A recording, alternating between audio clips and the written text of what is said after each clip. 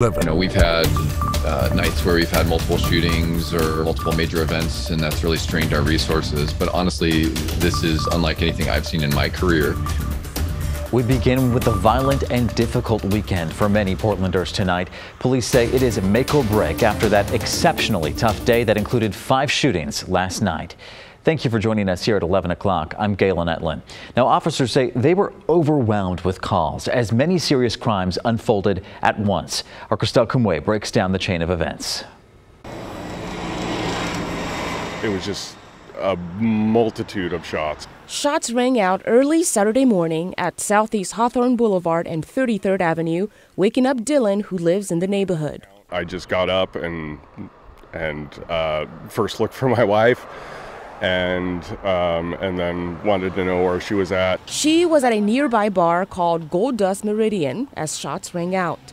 They were just sitting at the bar, and um, and then sh- shots started firing, and uh, everybody hit the ground. Somebody next to her was uh, was was struck. One person was hospitalized with gunshot injuries. Police say it's unclear if the shooting happened inside or outside the bar, but a person who lives nearby saw people in two separate cars arguing just after the shooting.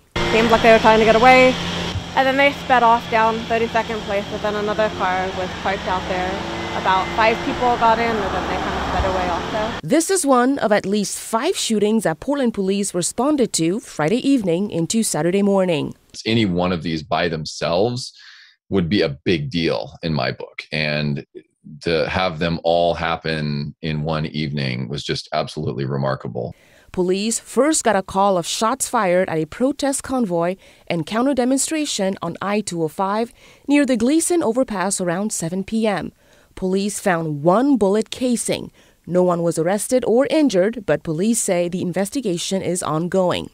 Just after midnight Saturday, police say two gunshot victims were found near a mini mart of Southeast Woodstock and 72nd. Both people are expected to be okay.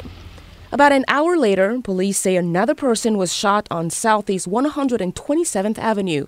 That person is expected to be okay as well. Around 2 a.m., police responded to a shooting near Southeast Division and 141st Avenue.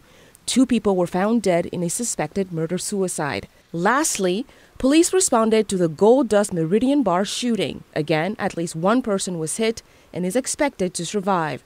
Police say another person was injured by shrapnel. In total, that's five separate shooting scenes, two people dead, and at least five injured. Because of those shootings, Sergeant Kevin Allen with Portland Police says officers were only dispatched to high priority calls, meaning those with serious life safety issues. It's really unusual for us to have the entire city on priority calls only. Property crimes or petty theft calls were put on the back burner.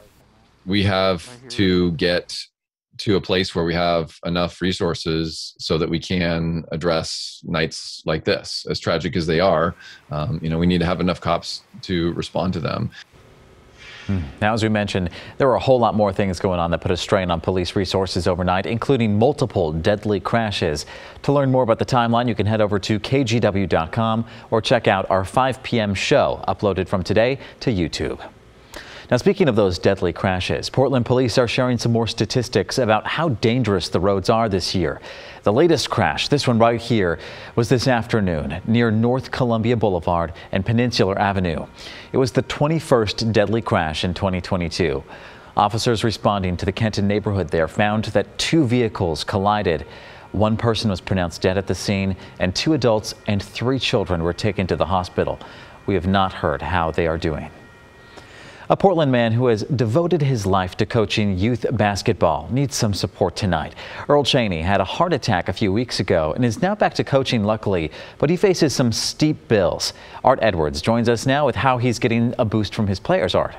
Galen coach Earl Cheney is well known for helping out young athletes, and now that he needs some help, some people with those families of the kids that he coaches, they're working together and coming through for him. Inside the gym at the Matt Dishman Community Center in Northeast Portland, the Biddy basketball team is on the floor. On this day, nearly two dozen young players, all under the watchful eyes of Earl Cheney, the man they all call Coach Earl. Coach Earl is awesome. I just love the community too. It's really, really fun just to be here and play. I think he's better than any other coach. Coach Earl has been coaching youth basketball for 40 years. Some of the players have gone on to play college ball and even to the NBA. He doesn't like to talk about who he's coached or his success. He has a different focus. Just to see the joy of the kids and the joy on their face. He grew up in this neighborhood, played here as a youngster, and he's devoted his life to the game. You know, he just commands so much respect from the kids, and he's so good with them, and uh, he's just a very, very kind man. But a couple of weeks ago, Coach Earl had a heart attack. He's back coaching, but he's been through two hospital stays, missed time at work, and the hospital bills threaten to become overwhelming. He's part of our family. We end all of our phone calls with I love you. Jackson calls him grandpa. I mean, he's he's in our family, in our tribe. So Megan Wallstatter started a GoFundMe page to help the man who has given so much to her family and others in Portland. My wife and I always say that everybody should have a Coach Earl in their lives. The players in the Biddy basketball class fly around the court at the Matt Dishman Community Center. Coach Earl is right there to offer tips and encouragement. These kids are having a great time, and hearing of Coach Earl's medical challenge got their attention. My heart dropped when I heard. I was like, like super scared, and I was really afraid. And I'm happy to see him out here now. I'm happy to be one of those families that actually gets to help him back. So, how is Coach Earl doing? I'm feeling much better. Thanks for asking. While he is feeling much better, Coach Earl does have some more tests that he's going to have to go through and also some treatment.